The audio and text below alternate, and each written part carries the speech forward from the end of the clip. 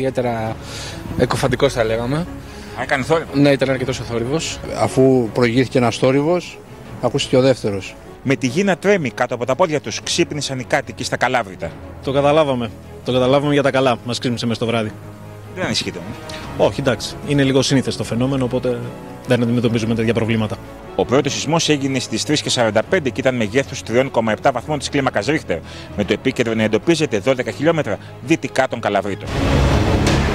Thank you. Τέσσερα λεπτά αργότερα έγινε και δεύτερο σεισμός μεγέθου 3,8 βαθμών της κλίμακας Ρίχτερ από το ίδιο εστιακό βάθος. Οι σεισμολόγοι παρατηρούν το φαινόμενο ιδιαίτερα προσεκτικά, διότι δεν γνωρίζουν αν πρόκειται για τον κύριο σεισμό. Πάντα σε τέτοιες περιπτώσεις χρειάζεται προσεκτική παρακολούθηση και πρέπει να την κάνουμε και σε αυτή την περίπτωση. Τα μεγέθη είναι μικρά, δεν μπορούμε να μιλάμε για προσυσμού ή για κύριους σεισμούς. Οι κάτοικοι αλλά και οι καταστηματάρχες της περιοχής ανησύχησαν, καθώς τα Καλάβρητα είναι από τους πιο αγαπημένους χειμερινούς προορισμούς, κυρίως λόγω της λειτουργίας του χιονοδρομικού κέντρου.